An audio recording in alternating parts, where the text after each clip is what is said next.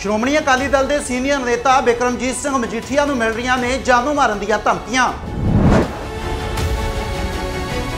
ਚੱਕ ਦੇ ਟੀਵੀ ਦੇ ਨਾਲ ਤੁਸੀਂ ਜੁੜ ਚੁੱਕੇ ਹੋ। ਪਿਆਰ ਭਰੀ ਸਤਿ ਸ੍ਰੀ ਅਕਾਲ। ਮੈਂ ਹਾਂ ਸੁਖਬੀਰ ਸਿੰਘ ਸ਼ੇਰਗਲ। ਵੱਡੀ ਖਬਰ ਤੁਹਾਡੇ ਨਾਲ ਸਾਂਝੀ ਕਰਨ ਲੱਗੇ ਹਾਂ। ਬਿਕਰਮਜੀਤ ਸਿੰਘ ਮਜੀਠੀਆ ਨੂੰ ਜਾਨੋਂ ਮਾਰਨ ਦੀਆਂ ਧਮਕੀਆਂ ਮਿਲ ਰਹੀਆਂ ਨੇ। ਇੱਕ ਵਾਰ ਨਹੀਂ, ਦੋ ਵਾਰ ਨਹੀਂ, ਸੱਤ ਤੋਂ ਅੱਠ ਵਾਰ ਉਹਨਾਂ ਨੂੰ ਫੋਨ ਕਾਲ ਦੇ ਉੱਪਰ ਇਹ ਧਮਕੀ ਭਰੇ ਜਿਹੜੇ ਨੇ ਮੈਸੇਜ ਭੇਜੇ ਗਏ ਨੇ ਕਾਲਸ ਕੀਤੀਆਂ ਗਈਆਂ ਨੇ, ਜਿਸ ਦੇ ਵਿੱਚ ਹੁਣ ਬਿਕਰਮਜੀਤ ਸਿੰਘ ਮਜੀਠੀਆ ਨੇ ਕਿਹਾ ਹੈ ਪ੍ਰੈਸ ਵਾਰਤਾ ਕਰਕੇ ਪੱਤਰਕਾਰਾਂ ਦੇ ਨਾਲ ਗੱਲਬਾਤ ਕਰਦਿਆਂ ਸਵਾਲਾਂ ਦੇ ਜਵਾਬ ਦਿੰਦਿਆਂ ਉਹਨਾਂ ਦੇ ਵੱਲੋਂ ਇਹ ਜਾਣਕਾਰੀਆਂ ਦਿੱਤੀਆਂ ਗਈਆਂ ਨੇ। ਉਹਨਾਂ ਨੇ ਕਿਹਾ, ਮੈਂ ਬਹੁਤ ਸਮਾਂ ਪਹਿਲਾਂ ਇਸ ਦੇ ਉੱਪਰ ਕਾਬੂ ਕਰਕੇ ਆਪਣੇ ਆਪ ਦੇ ਉੱਪਰ ਇਸ ਦੇ ਬਾਰੇ ਕੋਈ ਵੀ ਗੱਲ ਨਹੀਂ ਕਹੀ, ਕਿਉਂਕਿ ਪੰਜਾਬ ਦੇ ਵਿੱਚ ਲਾਅ ਐਂਡ ਆਰਡਰ ਦੀ ਸਥਿਤੀ ਪਹਿਲਾਂ ਹੀ ਨਸਤੋ ਨਬੂਤ ਹੋਈ ਪਈ ਹੈ। ਤੇ ਹੁਣ ਮੈਂ ਇਹ ਬੜੇ ਹੀ ਦਰਦਮਈ ਤਰੀਕੇ ਦੇ ਨਾਲ ਕਹਿਣਾ ਚਾਹੁੰਦਾ, ਕਿਉਂਕਿ ਲਗਾਤਾਰ 7 ਤੋਂ 8 ਵਾਰ ਜਿਹੜੀਆਂ ਕਾਲਸ ਉਸ ਦੇ ਕੋਲ ਪਹੁੰਚੀਆਂ ਨੇ ਉਸ ਦੇ ਬਾਰੇ ਡੀਜੀਪੀ ਪੰਜਾਬ ਗੌਰਵ ਯਾਦਵ ਹੋਰਾਂ ਨੂੰ ਇਸ ਦੀ ਜਾਣਕਾਰੀ ਦਿੱਤੀ ਗਈ, ਪਰ ਉਹਨਾਂ ਦੇ ਵੱਲੋਂ ਕੋਈ ਵੀ ਇਸ ਦੇ ਉੱਪਰ ਜਵਾਬ ਜਿਹੜਾ ਉਹ ਨਹੀਂ ਦਿੱਤਾ ਗਿਆ। ਉਹਨਾਂ ਨੇ ਕਿਹਾ ਕਿ ਬਾਅਦ ਦੇ ਵਿੱਚ ਸਾਡੇ ਪਰਿਵਾਰਾਂ ਦੇ ਨਾਲ ਸ਼ੋਕ ਮਨਾਉਣ ਦੀ ਜਗ੍ਹਾ ਜੇਕਰ ਤੁਸੀਂ ਹੁਣ ਬਣਦੀਆਂ ਕਾਰਵਾਈਆਂ ਕਰ ਦਵੋ ਤਾਂ ਇਹ ਚੰਗੀ ਚੀਜ਼ ਹੋਵੇਗੀ। ਪੱਤਰਕਾਰਾਂ ਦੇ ਨਾਲ ਗੱਲਬਾਤ ਕਰਦਿਆਂ ਉਹਨਾਂ ਨੇ ਲਾਅ ਐਂਡ ਆਰਡਰ ਦੀ ਸਥਿਤੀ ਜਿਹੜੀ ਪੰਜਾਬ ਦੇ ਵਿੱਚ ਬਣੀ ਹੋਈ ਹੈ,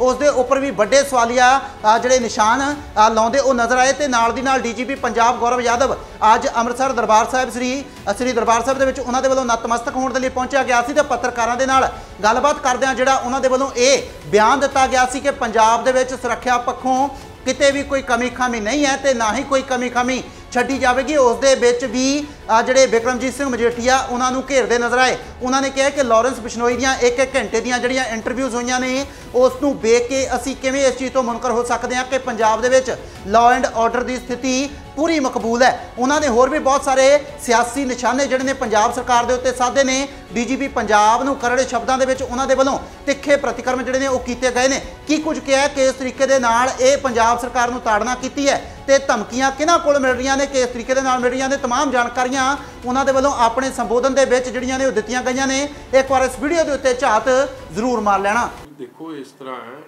ਡੀਜੀਪੀ ਸਾਹਿਬ ਕੀ ਕਹਿ ਰਹੇ ਆ ਨਾ ਨਹੀਂ ਕਹਿ ਰਹੇ ਸ਼ਾਇਦ ਕੁਰਸੀ ਦੀ ਵੀ ਕੁਝ ਮਜਬੂਰੀ ਹੁੰਦੀ ਹੈ। ਮੈਂ ਤਾਂ ਉਹਨਾਂ ਨੂੰ ਪੁੱਛਣਾ ਚਾਹੁੰਦਾ ਹੈ ਆਲ ਇਜ਼ ਵੈਲ ਤੇ ਤੁਸੀਂ ਫਿਰ ਉੱਥੇ ਸ੍ਰੀ ਅੰਮ੍ਰਿਤਸਰ ਸਾਹਿਬ ਕੀ ਦੱਸਣ ਗਏ?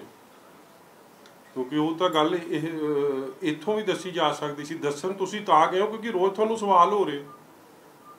ਜਦੋਂ ਗੈਂਗਸਟਰਾਂ ਦੇ, ਲਾਰੈਂਸ ਬਰਸ਼ਨੋਈ ਵਰਗਿਆਂ ਦੇ ਇੰਟਰਵਿਊ ਹੋ ਜਾਣ, ਜੇਲ੍ਹਾਂ ਤੋਂ ਜਦੋਂ ਜੇਲ੍ਹਾਂ ਤੋਂ ਜਿਹੜਾ ਕਹਿ ਰਿਹਾ ਹਾਈ ਸਿਕਿਉਰਿਟੀ ਜੇਲ੍ਹ ਆ, ਉੱਥੋਂ ਮੋਬਾਈਲ ਫੋਨ ਦੀ ਨਮਾਇਸ਼ ਲੱਗ ਜੇ, ਇੰਨੀ ਤਾਂ ਸ਼ਾਇਦ ਦੁਕਾਨ 'ਚ ਨਹੀਂ ਲੱਭਦੇ ਜਿੰਨੇ ਉਹਨਾਂ ਨੇ ਵਿਖਾਤੇ ਇਕੱਠੇ। ਤੇ ਔਰ ਜੋ ਰੋਜ਼ ਆਰਪੀਜੀ ਅਟੈਕ ਕਾਲੀ ਦੇਵੀ ਮੰਦਿਰ ਦਾ ਉਹ ਅਟੈਕ ਅਜਨਾਲੇ ਥਾਣੇ ਦਾ ਇਨਸੀਡੈਂਟ ਜੋ ਕੁਝ ਹੋ ਰਿਹਾ, ਔਰ ਮੁੜ ਕੇ ਤੁਸੀਂ ਆਪ ਤੁਹਾਡੇ ਤੋਂ ਲਾਅ ਐਂਡ ਆਰਡਰ ਨਹੀਂ ਸੰਭ ਰਿਹਾ, ਮੁੜ ਕੇ ਤੁਸੀਂ ਐਨਐਸਏ ਲਾਉਂਦੇ ਫਿਰੋ।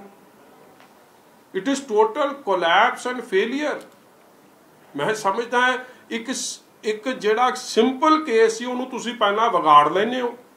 ਇੰਟੈਲੀਜੈਂਸ ਤੁਹਾਡਾ ਫੇਲਿਅਰ ਲੈਂਦਾ ਤੁਸੀਂ 2-2 3-3 ਮਹੀਨੇ ਤਾਂ ਇੰਟੈਲੀਜੈਂਸ ਚੀਫ ਹੀ ਨਹੀਂ ਲੱਗਦਾ। ਔਰ ਉਹਦੇ ਕਰਕੇ ਅੱਜ ਜੋ ਹਾਲਾਤ ਬਣ ਰਹੇ, ਫਿਰ ਜੇ ਸਭ ਕੁਝ ਵਧੀਆ, ਤੇ ਭਾਈ ਕਿਹੜੇ ਚੱਪੇ ਚੱਪੇ ਤੇ ਪੁਲਿਸ ਕਿਉਂ ਲਾਈ ਹੈ? ਫਿਰ ਦਿੱਲੀੋਂ ਪੁਲਿਸ ਸੈਂਟਰਲ ਫੋਰਸਿਸ ਕਿਉਂ ਮੰਗਾਈਆਂ ਹੋਈਆਂ ਨੇ? ਜੇ ਸਭ ਕੁਝ ਠੀਕ ਹੈ, ਫਿਰ 144 ਕਿਉਂ ਲਾ ਰਹੇ ਹੋ ਰੋਜ਼ ਤੁਸੀਂ? ਆ ਕੱਲ ਪਟਿਆਲੇ 'ਚ, ਲੁਧਿਆਣੇ 'ਚ, ਕਈ ਜ਼ਿਲ੍ਹਾ 'ਚ 144 ਲਾਤੀ, ਕਿਉਂ ਲਾਤੀ ਭਾਈ? ਸ੍ਰੀ ਅਕਾਲ ਤਖਤ ਸਾਹਿਬ ਦੇ ਜਹੇਦਾਰ ਸਾਹਿਬ ਨੂੰ ਕਿਉਂ ਕਹਿਣਾ ਪਿਆ ਕਿ ਅੱਜ ਵਿਸਾਖੀ ਆ ਰਹੀ ਹੈ, ਏਡੀ ਵੱਡੀ ਤਾਦਾਦ 'ਚ ਲੋਕ ਉੱਥੇ ਨਤਮਸਤਕ ਗੁਰੂ ਸਾਹਿਬ ਦੀ ਖੁਸ਼ੀਆਂ ਲੈਣ ਆਉਂਦੇ ਆ। ਤੁਸੀਂ ਤਾਂ ਵੜਨ ਹੀ ਨਹੀਂ ਦੇ ਰਹੇ ਅੰਦਰ ਕਿਸੇ ਨੂੰ। ਵਿਦਆਊਟ ਜੇ ਆਲ ਇਜ਼ ਵੈਲ ਤੇ ਕਿਉਂ ਲਾਈ ਹੈ ਔਰ ਮੈਂ ਤੁਹਾਨੂੰ ਗੱਲ ਦੱਸਦਾ, ਦੇਖੋ ਮੈਂ ਅੱਜ ਤੋਂ ਪਹਿਲਾਂ ਨਹੀਂ ਬੋਲਿਆ ਸੀ। ਔਰ ਅੱਜ ਮੈਂ not ਕਿ ਇਹ ਗੱਲ ਮੈਂ ਤੁਹਾਨੂੰ ਕਹਿ ਰਿਹਾ that I am worried about anything. ਮੈਂ ਕਈ ਹੋਰ ਲੀਡਰਾਂ ਵਾਂਗੂ ਨਹੀਂ ਜਿਹੜੀ ਗੱਲ ਦੀ ਚਰਚਾ ਵਧਾਵਾਂ ਮੈਨੂੰ ਆਪ ਕਈ ਇਹ ਜੀਆਂ ਥ੍ਰੈਟਨਿੰਗ ਕਾਲਸ ਆਈਆਂ ਜਿਹੜਾ ਮੈਂ ਡੀਜੀਪੀ ਸਾਹਿਬ ਦੇ ਨੋਟਿਸ 'ਚ ਟਾਈਮ ਟੂ ਟਾਈਮ ਲਿਆਉਂਦਾ ਰਿਹਾ।